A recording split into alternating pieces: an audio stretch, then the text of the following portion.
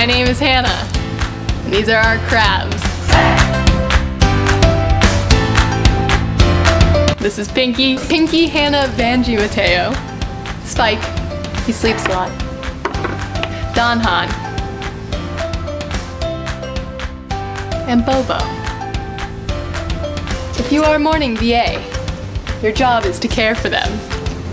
First, check to make sure none of them are dead. Can happen. Then, you check to see if their waters are low. Every morning, check to make sure they are not empty and that they are not dirty.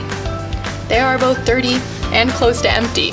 So in that case, you would dump out the water, refill them, and then put drops in. The salt water has salt water in it, so you put only a few drops of this. The same with the water conditioner and the fresh water. Then you put them back. With the food,